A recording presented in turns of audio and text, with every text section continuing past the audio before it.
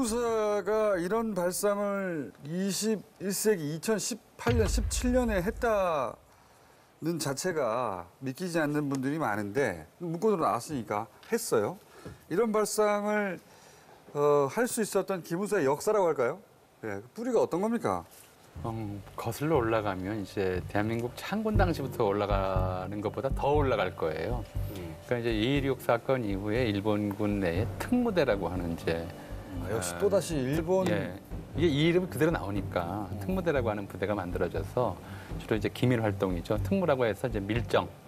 거기에 이제 그 한국인들이 상당수가 어, 만주에서 독립군 감시하거나 사찰하는 밀정으로 활동을 하죠. 근데 이 특무부대의 멤버들하고 이제 해방위 창군 과정에서 이분들이 좀 결합되는 면이 있어요. 해방위에는 이제 어, 대표적인 사람이 이제 김창룡이라고 보시면 돼요. 일본군 특무 출신이고요. 바로 특무대 밀정 출신이고요. 전범으로 독립군 잡, 잡던 네. 밀정이 그 소위 기무사의 그 뿌리가 되는 조직을 창설했어요. 그렇죠. 예, 해방 후 전범으로 사형 선고까지 받았는데 어. 육군 특무대로 이제 명칭을 바꾸면서 특무대장이 되었었는데요. 56년도에 이제 이 사람이 특무대장이 어, 육참총장보다 권, 권한이 더 세다라는 말을 들을 만큼 당시로서는 군내 제일 실력자로 행세를 했던 것이 당시 특무대장이고요. 이게 이제 육군 방첩부대로 바뀌었다가 그다음에 육군 보안사령부가 됐다가 또 이게 이제 국군 기무사령부로 계속 이렇게 변화됐기 때문에 뿌리를 거슬러 올라가면 일제시대 특무대가 기무사의 뿌리였다는 게 네, 사진도 걸려 있죠. 어, 기무사 가면 최근에 치웠다는 소문도 들립니다만.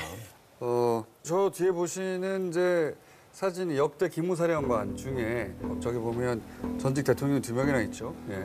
그리고 이 기무사의 전신인 보안사 전두환 보안사령관이 사실 쿠데타를 일으킨 거죠.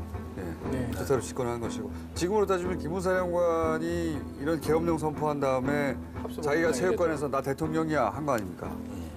이번에는 그렇게는 안 됐겠지만 여하간 탱크를 밀고 들어오고 시내에 그리고 기무사는 누구든지 체포할 수 있는 상황 그런 실행 방안을 만든 거네요. 그렇죠. 그거를 강조하기 위해서 사실은 합수 업무 수행 방안 1대1로 돼 있잖아요. 지금 이 문건 자체가 계엄 및 합수 업무라고요. 그래서 위험하다는 거죠.